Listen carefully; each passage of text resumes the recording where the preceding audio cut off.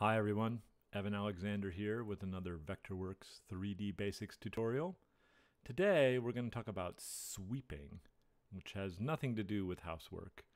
Um, some, some software calls this function lathing. Maybe you've heard that if you've worked with other software. Um, in Vectorworks, it's called a sweep. And here's how it works. I am in Vectorworks 2019. I'm going to grab the polyline tool and I'm going to switch into front view. Uh, a lot of the other stuff we've done in tutorials has been in top plan view where you've drawn and kind of pulled up. This is more about drawing half of a profile from the front and then uh, using that profile to sweep or lathe itself into a 3D solid. So what does that mean?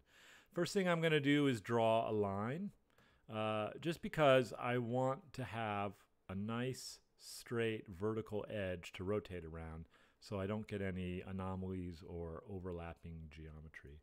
Let's start uh, with a martini glass because you know why not? Seems like a good place to start.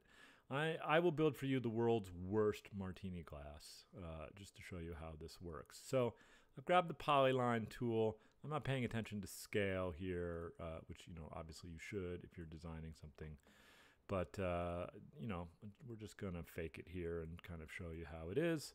I'm using the polyline tool, as I said. Um, I've got a tutorial in the future where I'll talk more about this tool.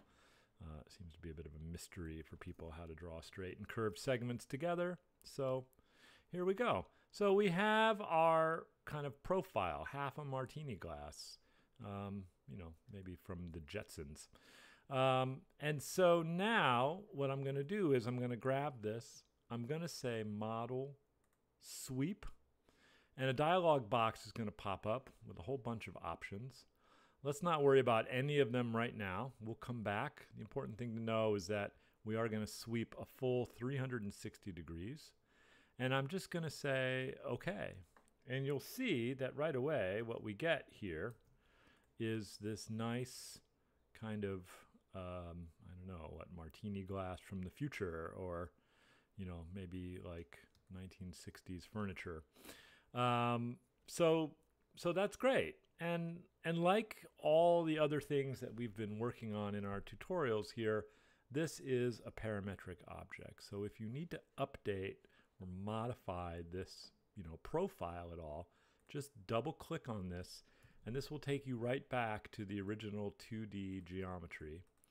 And uh, so I can double click on this with the reshape tool and I can come in here and, you know, now I can kind of fine tune these profiles or, you know, even add, why don't we add like a little kind of like round bubble detail here.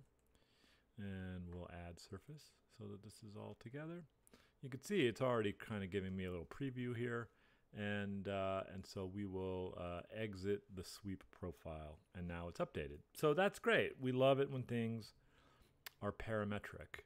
Let's just jump back in here one more time. So you can see that what happens is it always uses the left side as its uh, pivot as its axes to revolve around. So one you want to always draw your profile kind of to the right but also again, really important that this be straight up and down because otherwise, if this is, you know, angled, you'll either end up with kind of a tapered hole or if it's going the other way, uh, the geometry will actually overlap into itself and things will just get weird quick. So um, better to be, you know, kind of nice and, you know, and clean. If you if you've drawn it, and things are you know slightly out of whack. Um, you know there's a few ways you can fix it but uh, one thing that i like to do is just grab a rectangle and just clip surface here uh, and just make sure that that is you know nice and straight.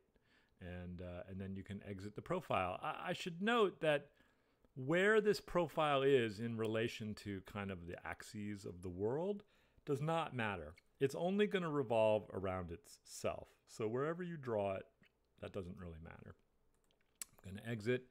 Now, one thing you may notice is that, you know, in theory, this red line is like zero. So this is the ground. So technically speaking, this you know uh, 44 foot tall martini glass is sunk into the ground because when I drew the front view, I really just ignored kind of where the world was, and you know that's okay. We can fix that. The way I like to fix this really easily is go into top plan view and I'm going to grab the rectangle tool. I'm just going to draw a big rectangle and I'm going to hit Command E to extrude, but I'm going to extrude it to zero inches. Yeah, you can do that. And so what that does is it kind of creates this like virtual like piece of paper, I guess you could say. It doesn't have any thickness, but it shows up as a 3D object. So now if I go into front view here, I can see, uh, I could, well, I have something to snap to at least. So boink. Now I can make sure that this is actually sitting on the ground uh, or on the stage or on the table or, you know, whatever it is that you're, you're working on. So that's great. So we love this, okay? So sweeping is great for bottles, things like that. Just know that when you make these objects, um, that they are considered to be solids by Vectorworks. And so what does that mean? Let's say we were going to make a wine bottle here, uh, or maybe a, a gin or vodka bottle to go with our martini. And uh, we're just going to do this really kind of quick and really dirty. Swing it back around. Great. Again, the world's worst uh, 87 foot tall bottle. Um, so now I'm gonna, we don't need the line anymore. We'll do that all again. Model, sweep, default, okay. So the thing to know is that according to Vectorworks, this is a solid object. So um, if you were to say put a glass texture on this and then you know shine a light on it, you know either in RenderWorks or in another piece of 3D software, it's going to treat this like a crystal ball. it's like totally solid. So if you want it hollow, what you really need to do is you really need to be drawing, uh, you know, an actual kind of size, like wall thickness, I guess is what I'm saying, wall thickness. We can kind of fix this here uh, down and dirty a little bit, but uh, why don't we grab the offset tool I'm going to choose a weird value here only because my bottle is, you know, 17 inches wide. So if I offset this, you know, just a little bit here. So, eh, you know, please work to scale, people, work to scale. But I've offset this. I'm going to double click this and I'm going to drag this over. And uh, I'm going to double click again and I'm going to drag this up. And then I'm going to just clip surface. So let's say clip surface and get rid of that. And so now what I've drawn is, you know, and again, I'm still kind of straight up and down based on this center point. Now I have some actual thickness. And so now what we have here is really like a hollow vessel. Okay. So just be aware that you have to kind of uh, work that out. There's another way that you could fix this. If I undo here and just get rid of this whole process, go back and let's exit. So this is a solid piece here, kind of bouncing around today a little bit. Um, if we go to the 3D tools, there is one in here called Shell Solid. And what this is going to do is this is going to let you set a wall thickness. 12 was pretty good on this one you have to pick kind of the opening where it's going to make the hole. So we want to do that at the top. And then when you run the command, there you go. It's going to basically do the same thing and hollow that out, which is pretty swell. So there you go. Bonus tip on sweeping. All right. So, and this is sitting kind of low. So we'll, there we go. The world's largest cocktail table.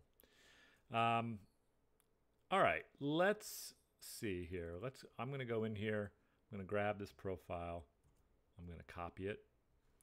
I'm going to exit so that, uh, see what I did there? I stole that profile right out of there so I don't have to draw another one. Oops. Let's say, paste, and There we go. Put it in screen mode. As I've said in the other tutorials, we have to talk about layer plane and screen plane a little bit in a separate tutorial, but here I am, I'm still in front view. I've got this nice profile. I'm going to say model sweep again. Now, what is all this stuff? So start and arc angle are pretty self-explanatory. Um, you can, you know, do less than 360 degrees. So if, you know, if you're doing like a, I don't know, like a, a Gothic detail that's kind of sunk into the wall, you could rotate it 180 degrees. Start is just basically where is it going to begin. So I wouldn't worry about that too much. Segment angle though is an interesting one. And, uh, and by default, mine is this really weird 5.62. And yours may be different, and I'll explain why. But basically, what's happening is um, when you're sweeping something, what Vectorworks does is it takes this profile and then it duplicates it and it rotates it around and uh, and then it duplicates it and it rotates it around and it duplicates and rotates it around and then it takes all those profiles and it connects the vertices and that's how it kind of spins the 2D into the 3D. So the segment angle is what tells Vectorworks how many de degrees to rotate before it drops another profile. So the lower this value, the kind of higher the resolution uh, your object will be. Um, and you can kind of use this to your advantage. Here, let's do an extreme example so you can see. If I were to say make this into uh, segments of 30, um, you can see that as we come around here, uh, now all of a sudden, see how faceted it is? Because this is 30 degrees in between each one.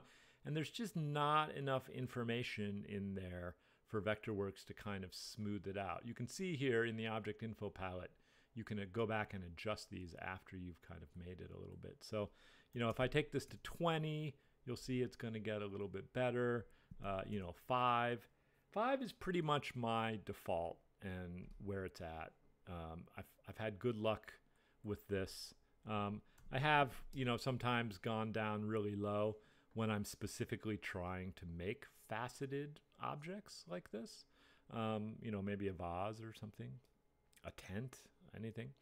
So, um, so you know, you can use that to your advantage. But uh, five usually is kind of a good spot. So let's undo here.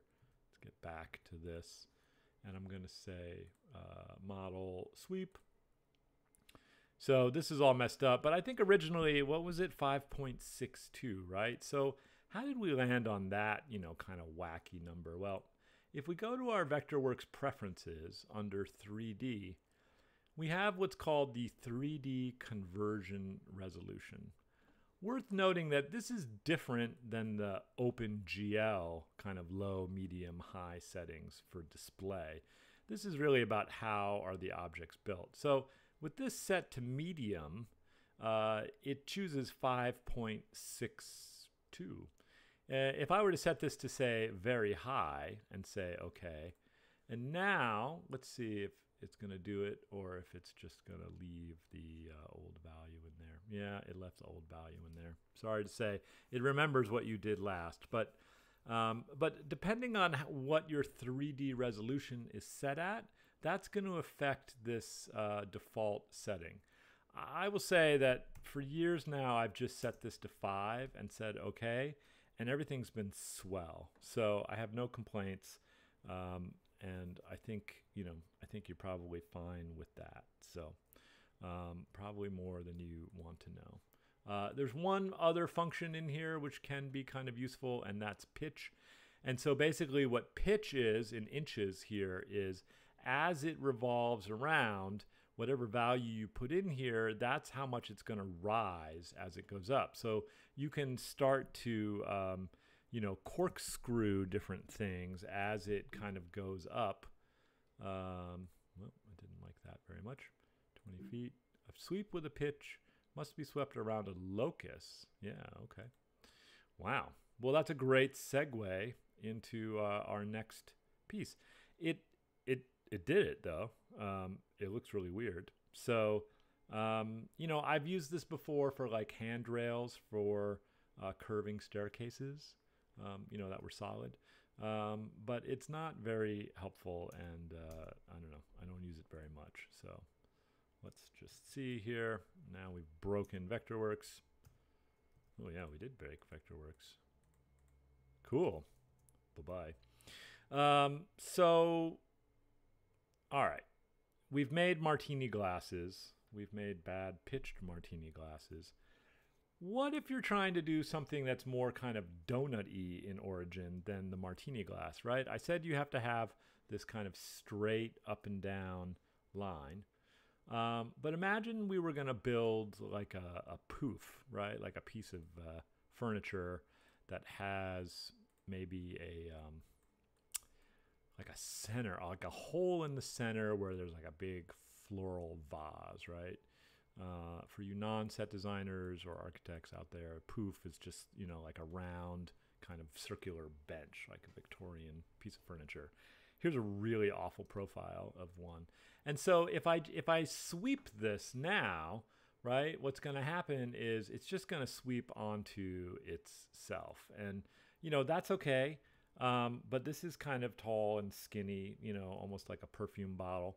Uh, and that's not exactly what I want. I really, I really want, you know, like a two foot hole up here so I can put a floral in it and, you know, make the whole kind of thing bigger. So let's undo this.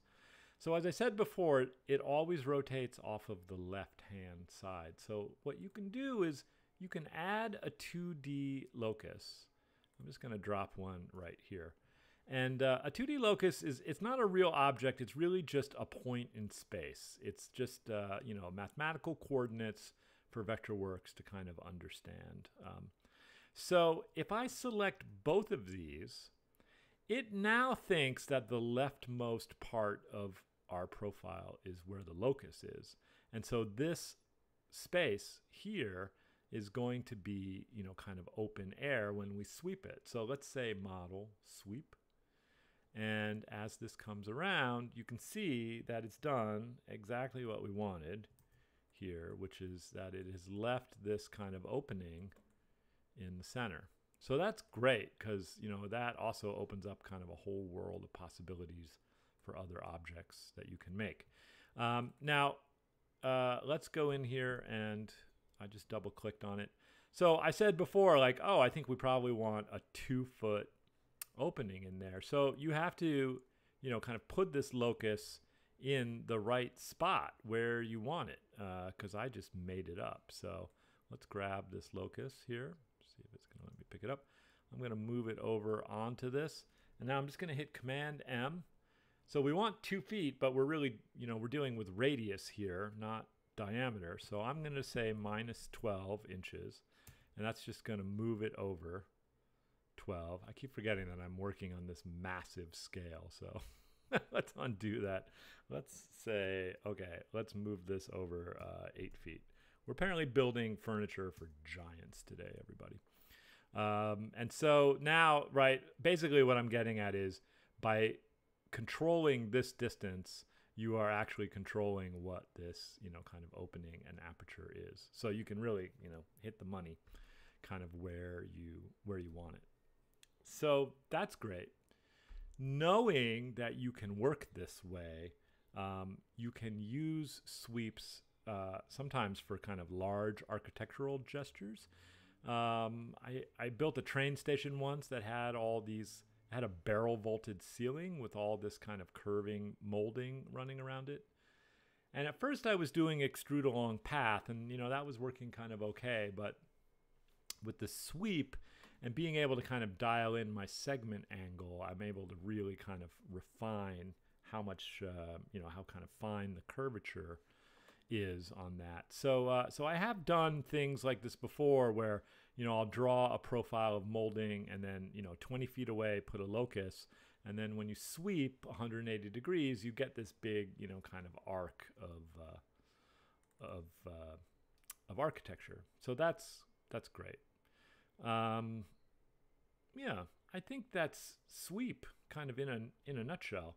Um, I, I don't use this as often as extrude or extrude along path, but it is really great for making um, you know things like you know bottles and um, you know, spires and kind of towers and sphere and I don't know any of those kind of uh, kind of details for these round objects that would be you know much harder to kind of model in a in a more straightforward kind of way. So I think that really kind of covers us on sweep. So I hope that's helpful. Please check out the uh, the extrude and the extrude along path videos if you haven't already. Subscribe to the channel if you want more. I'm gonna keep making more of these, some quick tips, and uh, eventually we'll get into more advanced and intermediate tutorials for kind of larger workflow stuff. But this is just uh, a good place to get started if you're just making the transition into 3D. All right, thanks for stopping by, and we'll see you soon.